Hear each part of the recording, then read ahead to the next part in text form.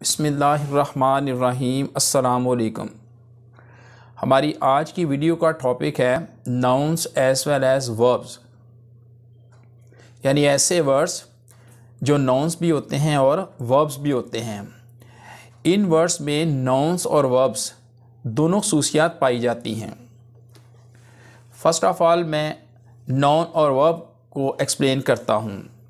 Noun is the name of some person place और thing noun किसी शख्स, जगह या चीज़ का नाम है। For example Kamran, city, pen, pencil, water, trees etcetera ये ऐसे वर्ड्स हैं जो कि सभी के सभी नाउन्स हैं। Kamran, city, pen, pencil, water, trees etcetera verb verb is the name of some work action और एक्टिविटी वर्ब किसी काम या सरगर्मी का नाम है। For example run drink write read play etcetera भागना, पीना, लिखना, पढ़ना, खेलना वगैरह ये वर्ब्स हैं, काम हैं एक्टिविटीज़ हैं। Keep in your minds mostly words are nouns as well as verbs अक्सर अल्फाज नाउन्स भी होते हैं और वर्ब्स भी होते हैं। यानी एक ही वर्ड होता है, वो नॉन भी होता है और वर्ब भी होता है। अब कुछ एग्जांपल्स लेते हैं।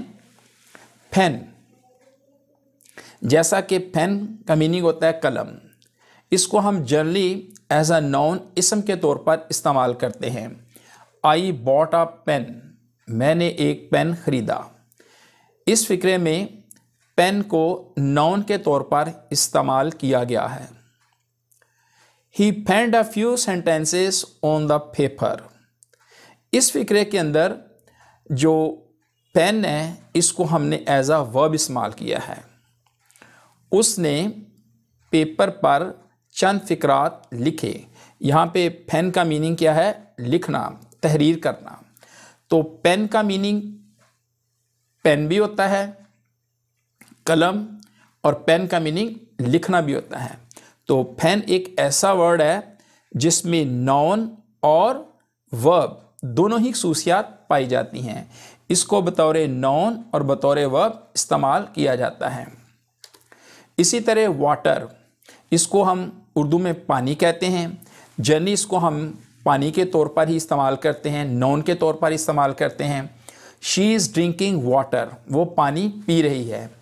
इस फिगर में यहाँ पे जो है शी इज़ ड्रिंकिंग वाटर वो पानी पी रही है। वाटर को हमने बतौर नॉन इस्तेमाल किया है। In the next sentence she is watering the plants इस शक्ल में, इस फिगर में क्या है? She is watering the plants वो पौधों को पानी दे रही है। और इस सेंटेंस के अंदर हमने वाटर को बतौर वर्ब इस्तेमाल किया है, बतौर फेल इस्तेमाल किया है। तो वाटर भी कैसा वर्ड है? कि ये नॉन भी है और वर्ब भी है। पेंसिल, जिस तरह पेन का मीनिंग लिखना होता है, इस तरह पेंसिल का मीनिंग भी लिखना होता है। In the first sentence he sharpen the pencil उसने पेंसिल को शार्प किया, तेज़ किया। तो इस सेंटेंस में जो पेंसिल है, इसको हमने बतौर नॉन इस्तेमाल किया है। जबकि the boy pencilled a few words on the notebook लड़के ने नोटबुक पर चंद अल्फाज लिखे। यहाँ पे पेंसिल का मीनिंग क्या है? लिखना। इस सेंटेंस के अंदर पेंसिल को हमने बतौर वर्ब इस्तेमाल किया है, बतौर फेल रन जैसा कि आप जानते हैं कि रन का मीनिंग होता है भागना, दौड़ना। दे आर रनिंग वो भाग रहे हैं, वो दौड़ रहे हैं। इस सेंटेंस के अंदर जो रन है, वो एज अ वर्ब फेल के तौर पर इस्तेमाल हुआ है। जबकि in the next sentence Babar Azam made 50 runs Babar Azam ने 50 रन्स बनाए। इस सेंटेंस के अंदर जो रन्स है, वो एज आ नॉन इसम इस्तेमाल हुआ है। तो रन भी एक ऐसा वर्ड है कि जिसमें नॉन और वर्ब दोनों ही खसूसियात पाई जाती हैं और इसको दोनों तरह ही हम इस्तेमाल कर सकते हैं। प्लांट पौधा। इसका मतलब होता है पौधा और पौधा लगाना भी। There are many plants in our home हमारे घर में बहुत से पौधे हैं।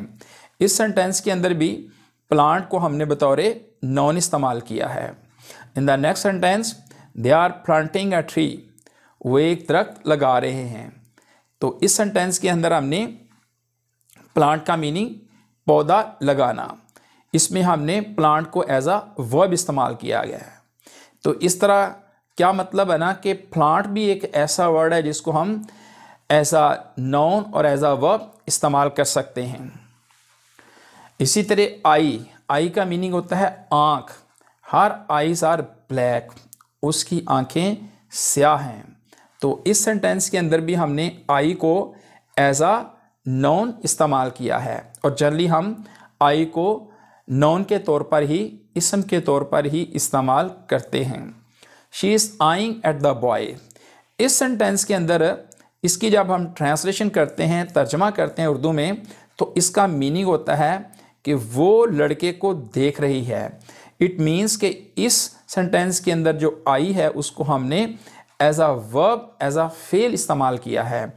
तो इट मीन्स के जो आई है, ये भी एक ऐसा वर्ड है कि इसमें एज आ नॉन और एज आ वर्ब दोनों ही खसूसियात पाई जाती हैं। खोम, खंगी। शी बॉट अ खोम, उसने एक कंगी खरीदी। तो इस सेंटेंस के अंदर खोम क्या है? एज अ नॉन है इसम है। In the next sentence she is combing her hair वो अपने बालों में कंगी कर रही है। तो इस फिक्रे के अंदर जो कॉम है, उसको हमने बतौर वर्ब इस्तेमाल किया है। तो इसका मतलब ये हुआ कि कोम भी एक ऐसा वर्ड है कि जिसमें नॉन इसम और व फेल दोनों ही सूसियात पाई जाती हैं। और इसको हम दोनों तरह ही इस्तेमाल कर सकते हैं एज आ वर्ब भी और एज आ नॉन भी। खट। कट का लफ्सी मतलब जो होता है होता है काटना किसी चीज़ को काटना। शी इज़ कटिंग वेजिटेबल्स वो सब्ज़ियाँ काट रही है। यानी इस शक्ल में देखें कि खट को हमने एज आ वर्ब इस्तेमाल किया है। शी इज़ कटिंग वेजिटेबल्स वो सब्ज़ियाँ काट रही हैं। In the next sentence there is a cut on his finger उसकी उंगली पर एक कट है, एक जख्म है। तो दूसरे सेंटेंस के अंदर हमने खट को बतौर नॉन इस्तेमाल किया है। तो इससे पता चलता है कि खट भी एक ऐसा वर्ड है जिसमें वर्ब और नॉन दोनों खसूसियात पाई जाती हैं। Paint they bought four buckets of paint उन्होंने फेंट की, रोगन की चार बकेट्स चार बाल्टियाँ खरीदी।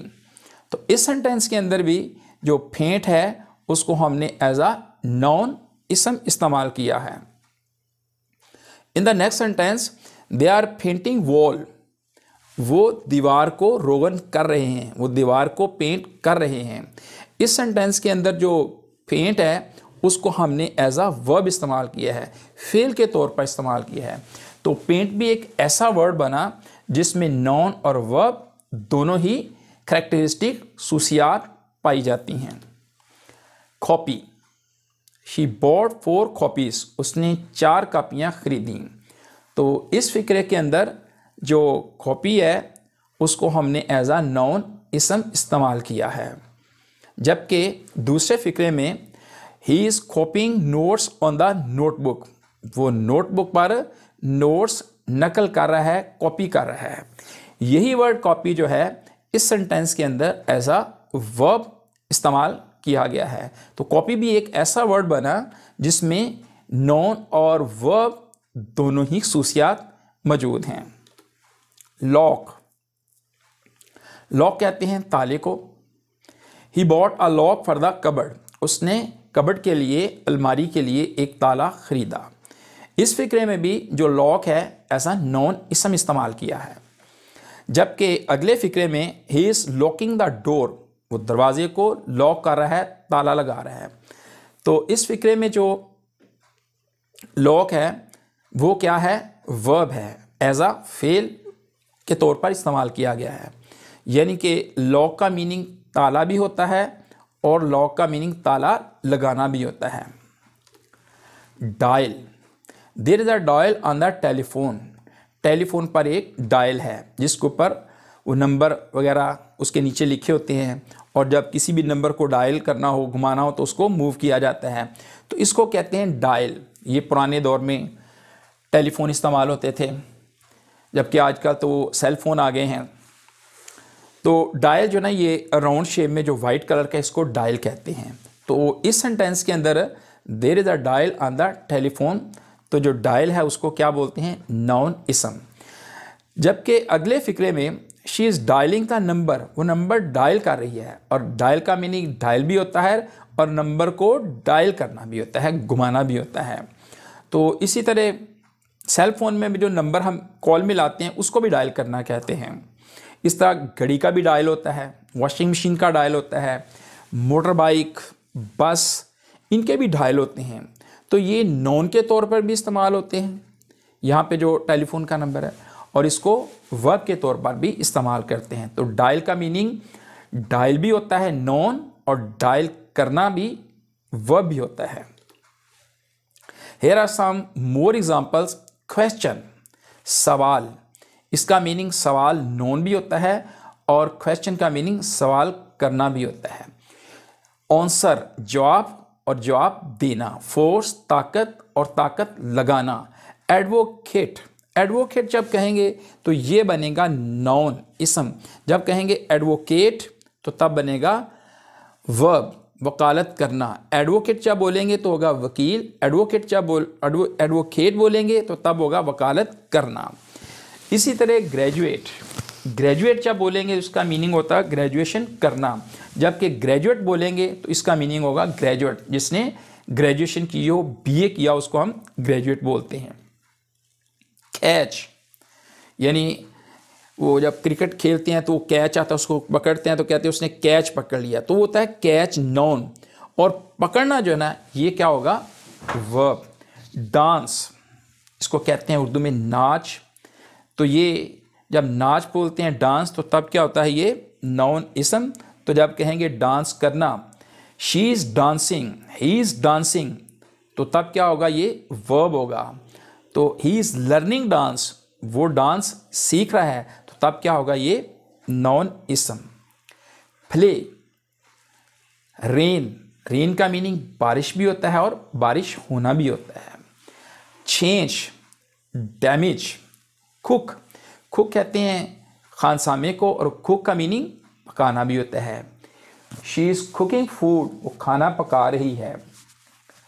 Our cook is very expert हमारा कुक बहुत माहिर है। खोम ये जैसे पहले भी पढ़ चुके हैं, इसका मीनिंग कंगी भी होता है और कोम का मीनिंग कंगी करना भी होता है। इस तरह फ़िश का मीनिंग मछली भी होता है और फ़िश का मीनिंग मछली पकड़ना भी होता है। ड्रीम ख्वाब ड्रीम ख्वाब देखना। ड्रिंक पीना और ड्रिंक जो है ये मशरूब को बोलते हैं कोल्ड ड्रिंक्स फ्लाई हंट शिकार को भी बोलते हैं, शिकार करना भी कंट्रोल काबू भी और काबू करना भी डिस्प्ले गाइड गाइड कहते हैं, रहनुमाई करना भी और रहनुमा को भी बोलते हैं। तो यहाँ पे कुछ मैंने एग्जांपल्स दी हैं तो बहुत ज़्यादा वर्ड्स जो हैं वो नॉन्स भी होते हैं और वर्ब्स भी होते हैं, यानी उनमें नॉन्स और वर्ब्स दोनों की खसूसियात पाई जाती हैं। वक्त सबको मिलता है ज़िंदगी बदलने के लिए। वक्त सबको मिलता है ज़िंदगी बदलने के लिए, लेकिन ज़िंदगी दोबारा नहीं मिलती वक्त बदलने के लिए। लिहाजा हमें चाहिए कि ज़िंदगी का एक एक लम्हा जो है, उसको ज़ाया होने से बचाएँ और इसको कीमती बनाएँ। जो ज़िंदगी के लम्हात हमारे पास हैं, हमें मैसर हैं उनको हम मवसर बनाएँ। ज़िंदगी और ज़िंदगी के लम्हात अनमोल हीरों की मानद हैं। ये जब एक मरतबा छीन जाते हैं तो दोबारा हाथ नहीं आते। अस्सलाम अल्लाह हाफिज़।